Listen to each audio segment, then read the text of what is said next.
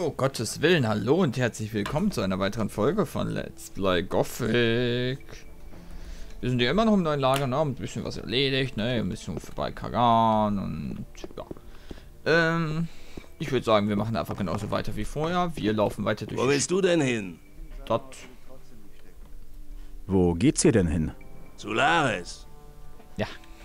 Ich will zu Lares. Kann mir kaum vorstellen, dass er mit dir redet. Das kannst du getrost mir überlassen. Ich werde dich nicht aufhalten. Ich verstehe ich, ich verstehe es halt nie. Wo soll's denn hingehen? Ich will zu Lares. Lares ist hier. Aber ohne guten Grund wirst du ihn nicht stören. Sag mal. Aber was passieren, wenn ich trotzdem rein? Du hörst wohl schlecht.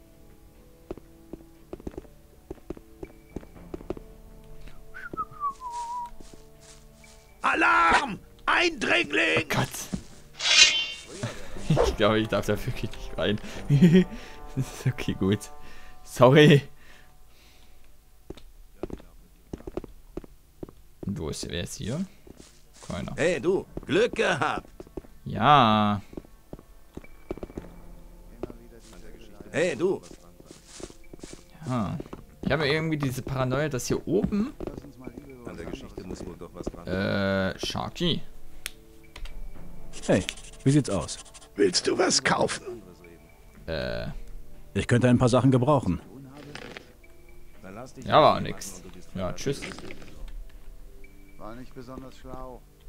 Ähm, ich habe irgendwie diese Paranoia, dass hier überall in den Häusern oben irgendwie plötzlich doch nur Leute sind. Man dann den einen wichtigen oder so vergisst. Aber behalt's für dich. Muss nicht gleich jeder wissen. Bandit, War nicht Bandit. besonders- War doch klar, dass das gibt. Da, guck mal, da, da ist zum Beispiel einer. Buß, ne? Hier, da. Siehst du? Wie steht's? Mann, wie soll's schon aussehen? Den ganzen Tag Reis fressen und darauf warten, dass sich eine Gelegenheit bietet, an Erz zu kommen. Dann kann man sich mal wieder richtig in der Kneipe mit Reisschnaps volllaufen lassen. Ah, ja. Was muss ich über diesen Ort wissen? Im Zentrum der Höhle ist ein riesiges Loch voll Erz. Wenn du darüber nachdenkst, wie du da rankommen kannst, vergiss es. Ich hab's selber mal probiert, aber die Söldner passen Tag und Nacht auf. Gut. Wer ist hier der Boss? Kommst wohl gerade aus dem alten Lager, was? Ja. Hier ist niemand der Boss. Der verdammte Lee versucht zwar immer, uns an der Leine zu halten, aber wir machen, was wir wollen. Wenn es sowas wie einen Anführer unter uns gibt, dann ist das Lares, aber der ist schlau genug, niemanden in seine Sache reinzuquatschen. Ja, dann, äh, Quatsch wird viel. Ich habe ein bisschen Sumpfkraut dabei. Willst du was? Klar, hier sind zehn Erz. Gib her. Wenn du mal wieder was hast, komm vorbei. also wäre wär jetzt so ein richtiger Hashtagger geworden. Ich glaube kaum, dass sich daran was Iguana, na, kennen wir alles schon. Unwichtig. Ich halt Äh, Bandit, Bandit. Ich höre nicht mehr. So, und spätestens jetzt ist meine Paranoia nämlich noch schlimmer verstärkt. Ich warte einfach darauf, dass irgendwie in einem dieser Dinger irgendwie Xanas oder Du siehst ganz schön ungelenkig aus. Ich könnte dir helfen. Äh, du bist ein Argon Buster. wenn du meinst. Ich kann dir die hohe Kunst der Körperbeherrschung zeigen. Akrobatik. Ja, gut. Wenn du deinen Körper beherrschst, bist du in der Lage, viel weiter zu springen. Du lernst dich richtig abzurollen und aus dem Fall heraus richtig zu landen. Aber denk daran, du bist nicht unsterblich. Auch im Kampf ist Akrobatik sehr hilfreich. Du kannst deinen Abstand zum Gegner sehr schnell verändern. Viel Glück. Oh, und wieso hilft der mir? Also, wie, wie hä? Äh, wieso will er kein Geld? An der Geschichte muss wohl doch was. Das ist total komisch gewesen. Ich habe irgendwie das Gefühl, in diesem Haus ist nichts, ne? Nö. Ich glaube kaum, dass ich daran. Er muss eh. Nicht eigentlich. Ich höre nicht Hm? auf das Gefahr. Hallo. Danke. Immer Da wieder. ist auch keiner. So, ähm. Ja, okay, jetzt gehen wir in die anderen Stockwerke. Hier ist ja kein Haus, da läuft nur dieser Kornes oder Korpus oder irgendwie so rum. wie der heißt. Geh zur Kronos, genau. Ich habe wichtige Nachrichten für Saturas. Was könnte schon so wichtig sein, dass unser spiritueller Anführer seine wertvollen Studien dafür unterbrechen sollte? Nun, Das passiert mir nicht nochmal. ich grüße dich, Magier. Äh, wichtige Dinge Kor halt. Kalom hat mit ein paar fanatischen Templern die Bruderschaft verlassen. Er will unbedingt den Schläfer auf eigene Faust finden und ihn erwecken. Ich habe ihm noch nie getraut. Zweiter Guru hin oder her, er ist verblendet, hinterhältig und zu allem fähig. Sicher ist die Bruderschaft ohne ihn besser dran. Ich werde Saturas bei Gelegenheit davon berichten. Geh nun. Hallo? Geht's? Hallo? Äh, Iberion, der Anführer des Sektenlagers, ist tot. Was? Wie konnte das geschehen? Die. Bruderschaft führte ein Ritual durch, eine Anrufung ihres Gottes. Die mentalen Anstrengungen waren wohl zu viel für Iberion. Das ist sehr traurig. Iberion war ein zuverlässiger Verbündeter. Aber es rechtfertigt nicht die Störung der Studien von Saturas. Hallo, hallo. Die Gurus haben erkannt, dass sie einen üblen Erzdämonen anbeten. Sie halten ihren Schläfer jetzt plötzlich für einen Dämonen. Hört sich nach einer weiteren Verworrenheit der Bruderschaft an, aber sollten Sie recht haben, könnten wir alle hier in der Kolonie in großer Gefahr sein. Das musst du sofort Saturas berichten. Er muss entscheiden, was zu tun ist. Wo finde ich Saturas? Begib dich zur obersten Ebene, sage den Wachen dort, du hast meine Erlaubnis zu passieren. Die Parole lautet Tetrian doch. Saturas findest du beim großen Pentagramm. Er gibt sich dort fast den ganzen Tag seinen Studien über die Sprengung des großen Erzhaufens hin. War nicht besonders Hallo? Ich grüße dich, Magier.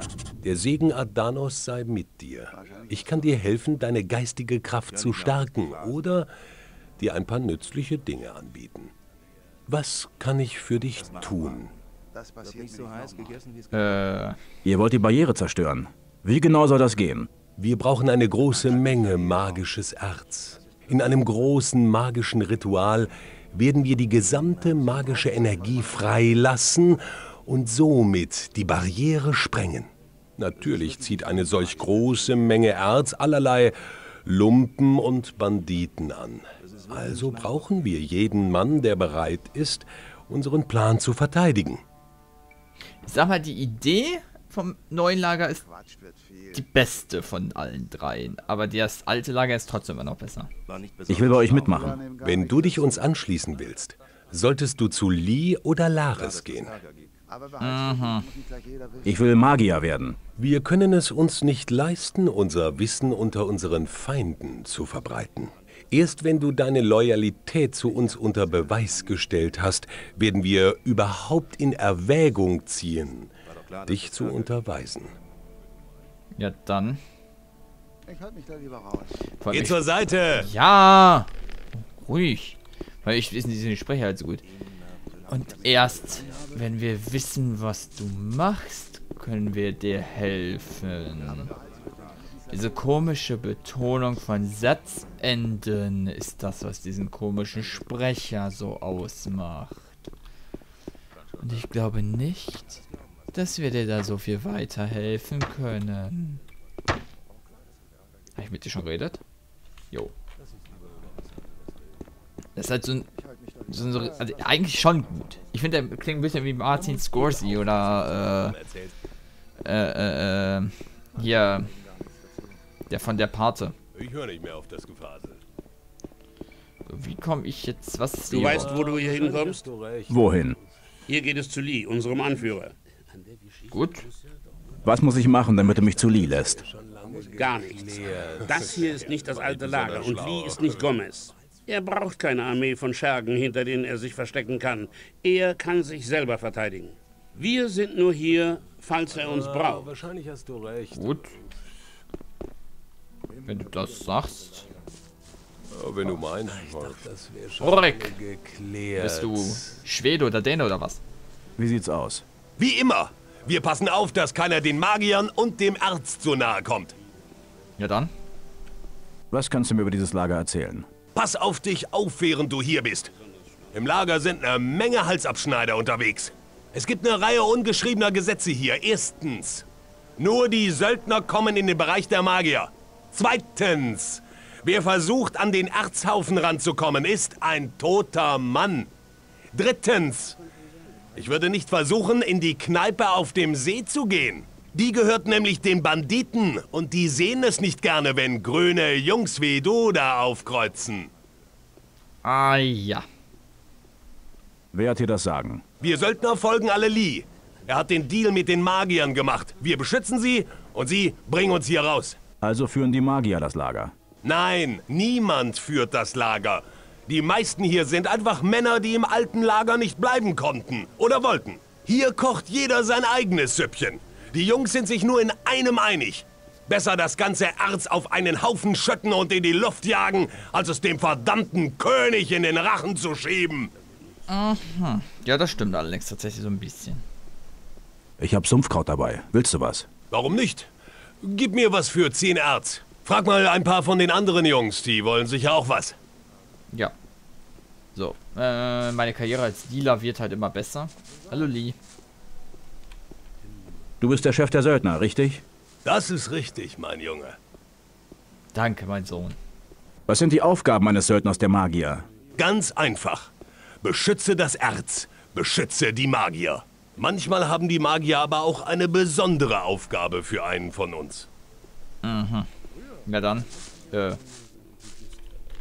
Ich gehe mal weiter, ne? Ihr seid, ich dachte jetzt, ihr seid irgendwie interessanter oder so. Nicht der Fall. Das ist hier. Halt! Niemand darf ohne Parole passieren! Äh, Tetrian doch. War das nicht Tetridadon? Doch. Die Parole lautet Tetriandoch. Ah, das stimmt. Du kannst passieren. Du musst man sich das sogar merken. Unfassbar. Da werden Anforderungen gestellt. Das ist unglaublich. Hey, du! Ja, ich. Raus hier! Ja, okay. Kluge Entscheidung. Ganz ruhig, Dicker. Hey, du. Hey, da du, hast du noch mal Glück da? gehabt. Was denn? Hey, du! Raus hier! Hast du noch mal Glück gehabt? habt ihr irgendwie zu viel Hasch geraucht? Was ist das denn? Was wolltest du da drin? Äh, Gar, gar nicht. Hallo? Wer bist du? Ich bin Nefarius, Magier vom Kreis des Wassers. Ja, das ist ja gut, dass du einer vom Kreis des Wassers bist. Ich will ein Magier vom Kreis des Wassers werden. Nicht so schnell, mein Junge. Bevor wir einen jungen Mann in unsere Reihen aufnehmen, muss er etwas Großes vollbracht haben. Und er muss uns eine Zeit lang gedient haben. Wenn es dir wirklich ernst ist, solltest du zu unseren Söldnern gehen. Dort kannst du uns dienen. Und vielleicht erhältst du eines Tages die Chance, etwas Großes zu vollbringen. Gut. Bin ich bereit für den Kreis des Wassers? Werde einer unserer Söldner. Dann sehen wir weiter. Ah, Okay. Wo finde ich Saturas? Geh durch das große runde Tor. Dort wirst du ihn finden. Gut, danke. Ja, ich vermute mal, ähm, es ist einfach ein Stargate, wo ich durchgehe. Das ist halt, ne, ist halt überall immer gleich so, Gottes Willen, was ist denn hier für eine Totenbeschwörung? Hallo Saturas! Ich kenne dich aus Go äh, Gothic 3. Ich habe wichtige Neuigkeiten aus dem Lager der Bruderschaft. Wenn dir Kronos die Erlaubnis gab, mich aufzusuchen, müssen es in der Tat wichtige Nachrichten sein. Ja. Iberion ist tot. Er starb bei einer großen rituellen Anrufung des Schläfers. Iberion tot. Das sind schlechte Nachrichten, sehr schlechte Nachrichten. Wer hat die Führung der Bruderschaft übernommen? Dieser machtgierige, verschlagene Kor Kalom? Nein. Kalom hat der Bruderschaft den Rücken gekehrt. Er hat einige Templer mitgenommen. Niemand weiß, wohin sie aufgebrochen sind. Warum das? Er war doch der zweite Mann nach Iberion. Gewisse Ereignisse haben die Gurus davon überzeugt, dass der Weg ihres Gottes der falsche ist. Er scheint ein Erzdämon zu sein, der nur Böses im Schilde führt. Einer der Gurus hat mich unter dem Einfluss des Schläfers fast umgebracht, obwohl ich eben diesem Mann kurz zuvor das Leben gerettet hatte. Kor Kalom war der einzige Guru, der die wahre Natur der Höllenkreatur nicht sehen wollte und hat daher das Lager im Sumpf verlassen. Ich verstehe. Nun, das ist Glück im Unglück, denn Kor Anga ist ein guter Mann. Hart, aber ehrlich. Wenn jemand den Zerfall der Bruderschaft nach dieser spirituellen Katastrophe verhindern kann, ist er es. Mhm. Nun, ich hab das hier. Ich habe diesen Almanach hier. Iberion hatte ihn benutzt, um den Fokus aufzuladen. Sehr gut. Wir benötigen das Wissen aus diesem Buch, um alle fünf der ursprünglichen Fokussteine aufzuladen. Ich werde den Almanach an mich nehmen. Ja. Ich habe diesen Fokus hier. Du hältst einen der Schlüssel für die Zerstörung unserer aller Fesseln in Händen. Es handelt sich um einen der fünf Fokussteine, mit deren Hilfe die magische Barriere erschaffen wurde. Und mit der fokussierenden Kraft genau dieser Steine werden wir die Mauern aus Energie auch wieder niederreißen. Aber kostet das nicht unglaublich viel magische Energie? Richtig, doch wir haben über all die Jahre unermüdlich Erz gesammelt, anstatt es mit unseren Kerkermeistern gegen Annehmlichkeiten zu tauschen. Wie du sicher schon weißt, enthält jeder Erzbrocken etwas magische Energie. Mit Hilfe dieser Energie, die in unserem großen Erzhaufen schlummert, können wir die magische Barriere in Fetzen sprengen. Das hört sich gefährlich an. Die Explosion wird rein magischer Natur sein und wird ausschließlich alles magisch Veränderte innerhalb der Barriere zerstören. Für uns Menschen besteht keine Gefahr. Hier, nimm den Fokus. Hoffentlich hilft er dem Plan mit dem Erzhaufen auch wirklich. Ja, und dann so? Was machst du jetzt mit Fokus und Almanach? Nichts.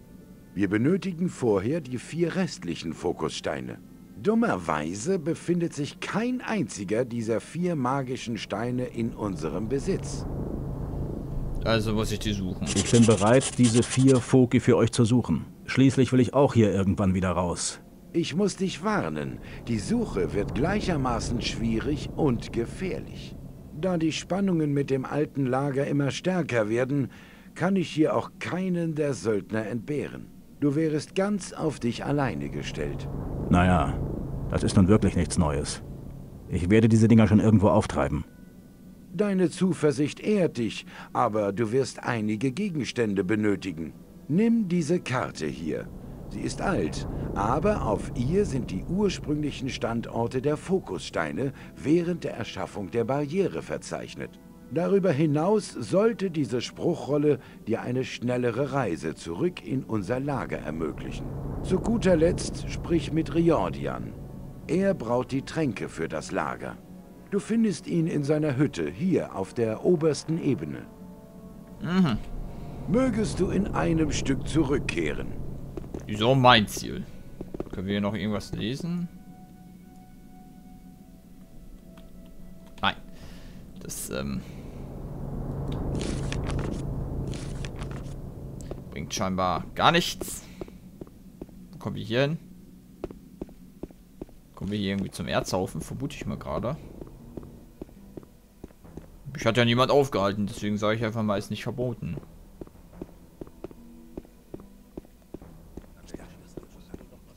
Was reden denn die Leute da unten? Also, dass die Söldner, die den Haufen beschützen. Alter, was für Musik. Was für Musik. Ui! Was ist da? Hey! Was ist das denn für ein Sprung? Hi. Äh. Okay. Gut. Äh. Ich darf einfach so zum Erzhaufen? Das interessiert halt keinen, oder wie? Ja, okay, das ist wie bei ähm, Wizen 1 äh, oder 2? Nee, 1. Wo man einfach so auf diesen Goldhaufen vom Banditen durfte. Finde ich auch immer wieder bescheuert. Interessiert halt keinen, ob du dich da äh, hinstellst. Irgendwie ist hier ziemlich viel Erz. Das Gefühl.